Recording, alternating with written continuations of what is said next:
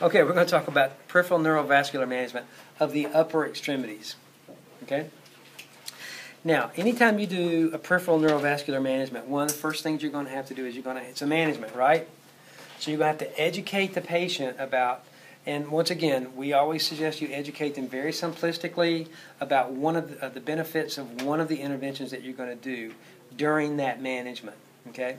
Now, so what you need to do initially is you need to determine the learning needs, and of course, one of the best ways to determine the learning needs is to tell the patient, hey, I'm going to be teaching you something about the peripheral neurovascular management. One of my interventions uh, during this process, and uh, is it okay if I teach you something about this, one of the benefits of doing this? And they're going to say, okay.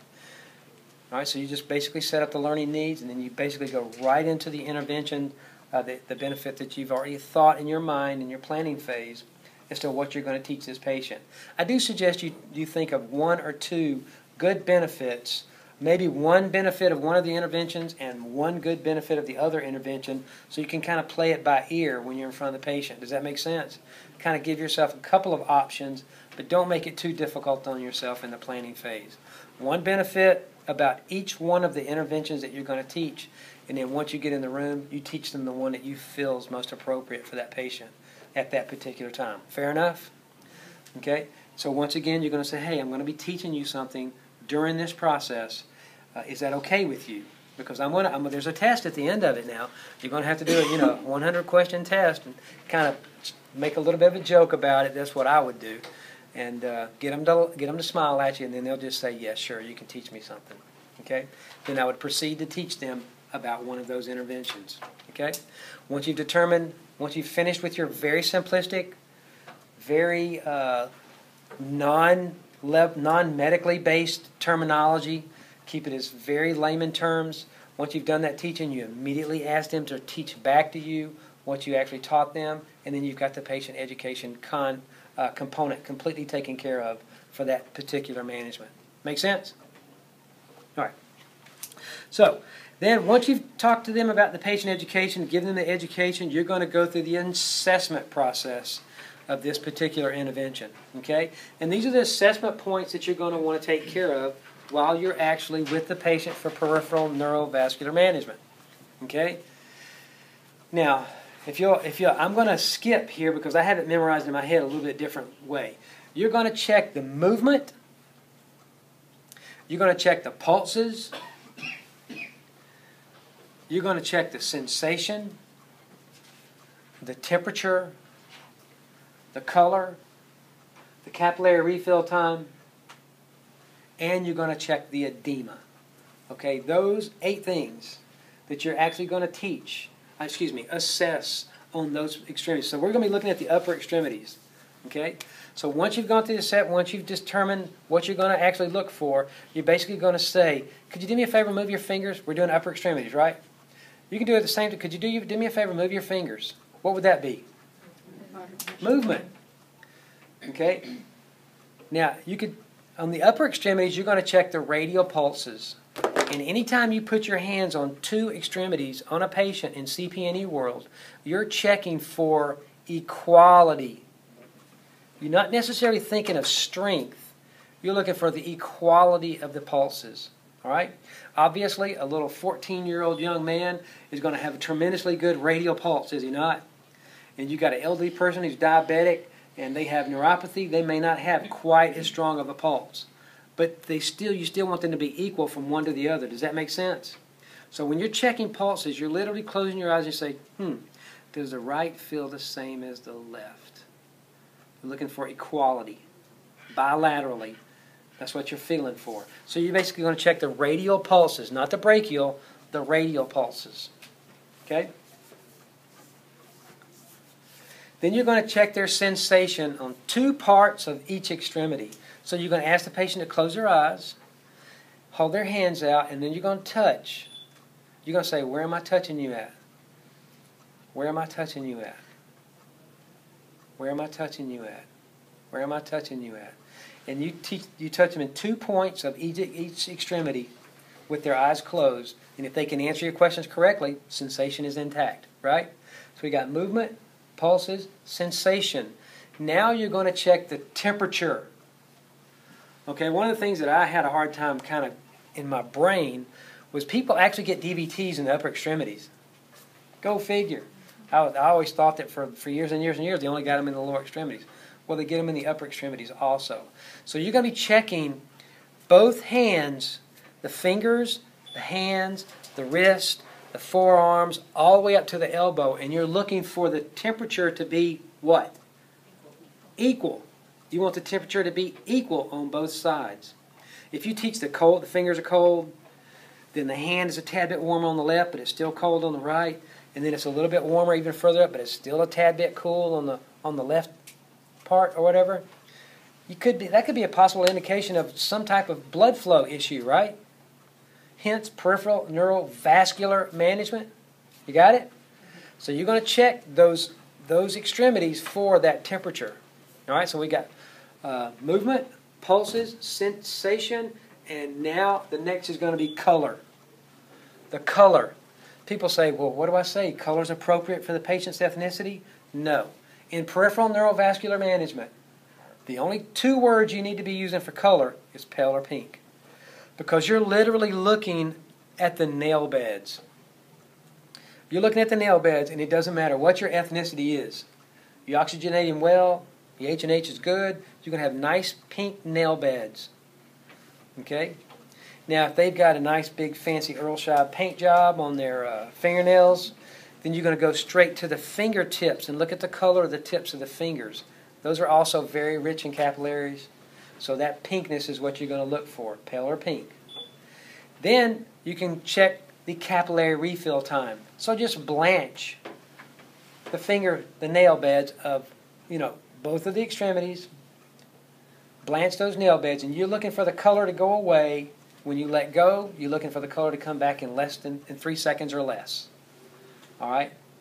That is the capillary refill time cutoff. Anything over that is reportable. Three seconds or less is normal finding.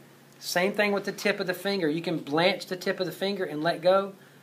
Lots of capillaries, and you can actually get color come back uh, on the tips of the fingernails. The fingers are you know, male patients, of course, pretty much you don't have to worry about the, the fingernail polish. Um, but as far as uh, a woman patient, a female patient, a lot of times you will have fingernail polish on their fingers. And uh, if that's a particular case, then once again you can drop down to that area right there, the fingertip, to uh, use as for your assessment data. Make sense? Then the last thing is you're going to do is check for edema. All right? Now, we get a lot of questions about edema. Well, how do I describe edema? My best answer to you is to describe edema, edema the way the CE who gives you a report describes edema. Because, you know, I'm used to using pitting and non-pitting edema as my verbalized.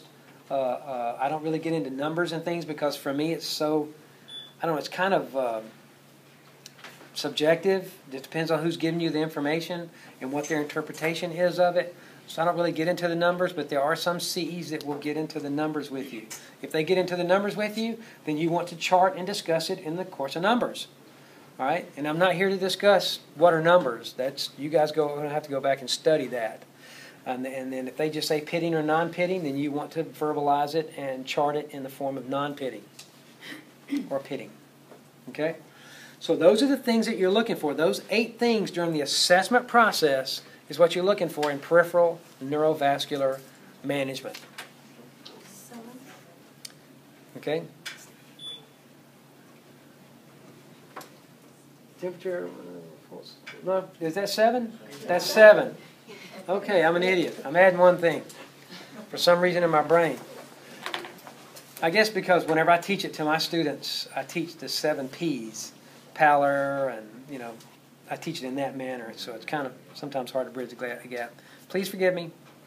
Uh, what, what's, what's a real fancy excuse I can come up with? Hmm, there isn't one. so, just forgive me on that. All right, seven, uh, those seven things. Now, then the, the next thing that you're going to do is once you've gone through the assessment process, what's the next thing that you're going to have to do? You're going to have to do how many interventions? Two. Two interventions. Well, I'm going to give you a list of interventions that you can use for peripheral neurovascular management. Okay, I wrote it down so that we would get it all straight. Number one, reposition. You can reposition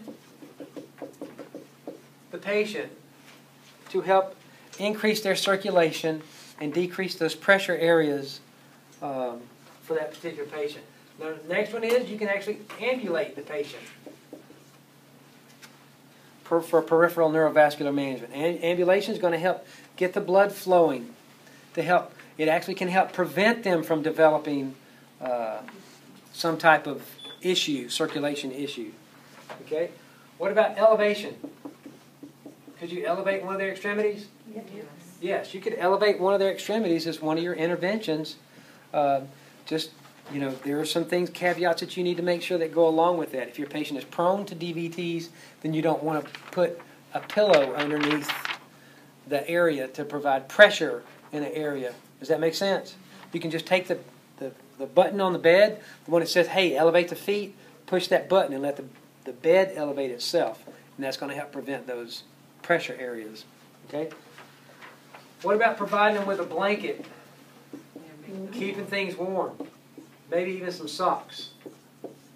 That's something that you can also actually do. SCDs, which is a uh, actually a, uh, a word for um, sequential compression devices, those things that are hooked up to a pump, you can actually put those on, maintain those during this process. Uh, whenever you do the assessment, you're going to have to take those SCDs off, are you not? You can reapply those, and that squeezing pressure is going to help uh, help the blood return back to the heart and help prevent uh, uh, prophylactically deep vein thrombosis. Okay? What about TED hose? TED hose is something that you can do. Most hospitals are going away from doing both. You'll either do one or the other. And if you do not know how to put a TED hose on, I do suggest you YouTube the proper application of a TED hose. Okay, because they've got some great inside out where they do a part, half inside, half outside uh, way to apply TED hose. It makes it real easy to put them back on. So if you don't know how to do it, you need to YouTube it. Okay? Uh, ankle circles.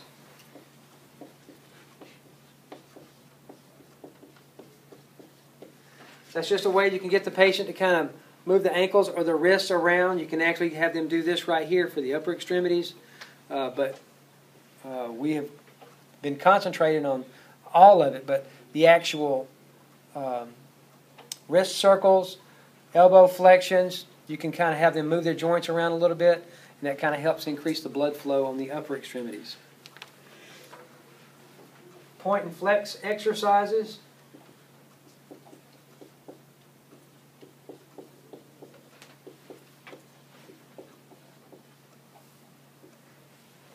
Exercises, the E X E R. I didn't have enough room. Exercises, okay? And those are, is we good on that? Pointing the toes, flexing the toes. That's another way you can increase it for the lower extremities. You could do this right here for the actual upper extremities. Have them squeeze their fist into a ball and extend their hands outward like this right here. That's a good way to kind of increase that blood flow. And then the last one is medications. You, can you give medications to help increase blood flow? Sure. So I'm going to come over here on this side right here. We're going to go meds. And then we're going to write some down. Does aspirin help? Yes. Yes. Uh, heparin? Yes. Lovenox? Uh, Plavix? Once again, I got ahead of myself. And then, uh, what was the other one we were talking? Fragmin. These are all these are all actual um, medications that you can give to a patient as an intervention to help. So uh, you can kind of correlate that back to the MAM, the management's assessments, mobility, and medications. The last thing you can actually use if it's appropriate and if it is assigned. You can't just pick it out. You have, it has to be assigned to you. But these are some of the things that you can do for actual peripheral neurovascular management. Okay? Remember, when you're touching somebody with both your hands, you're looking for what? Equality. Equality. All right? And uh, you have to go through the process of uh, doing the assessment. Then you have to perform the interventions. and of course, educate the patient on one of the interventions that you're going to be doing. But when you get finished with that, then what do you, do you have to do? Reassess. Now, here's my strategy on reassessment. If you do an intervention with a patient, doesn't it help when they say, now, how does that feel? Doesn't that feel better? Don't you feel warmer? Doesn't that make you feel nice and warm and fuzzy? You see what I'm doing in my head right here? Doesn't that lead them to the, my, listen, this is my strategy. Don't say, well, what do you think about that? You just opened up a can. You don't know how big of a can of worms you just opened up. It could be a small can, it could be a big can. All right? So kind of give them the answer that you want them to give you by saying, doesn't that feel better? Does, don't you feel warm? Don't you feel warmer? Because all of your managements, you're literally asking questions after every intervention. You're trying to collect data back from the, the patient. Okay? What type of data are you trying to collect? Good data. You want to be able to go into the evaluation phase of your PCS and you want to be able to say, I met all of my goals because, in quotation marks, state patient's comments based on those questions that you asked that patient. So always ask them good questions. How does that feel? Doesn't that feel better? Don't you feel wonderful? Don't you think I hung the moon? Those types of questions that you're going to ask the patient after every intervention. Okay? Does that make sense? And that's basically your goal, the entire PCS for every management. You're going to be doing that assessment, interventions, and reassessment, and asking questions related back to your original goal that you set for yourself during your care plan, so that when you're in the planning, when you're in the evaluation phase, you can justify that you met the goal. Make sense? Now, let me just make sure real quick. Um, so you will have to evaluate the learning, understanding, and the patient's response. We evaluated the learning, understanding when? At the beginning, as soon as we actually taught it. Now, if you want to wait till the intervention to do the eh, patient education, you can do that. It's okay. We don't mind. As you're in the moment. The question is, is can you remember it under stress? Does that make sense? Okay, so when you go home and practice it, you're going to have to practice it at one specific moment so that and you practice it in that particular moment on every single area of care so that you'll do it the same it's duplicatable if that makes sense. You want everything that you do while you practice to be duplicatable. Actually on the floor when you're standing at a patient's bedside the pressure is on and you know you're sweating your your socks are soaking wet you're sweating so bad okay? So you want, do want to make sure that when you practice it at home you practice it in the same spot on every single area of care. Make sense now that's peripheral neurovascular management. I hope it actually helped you guys.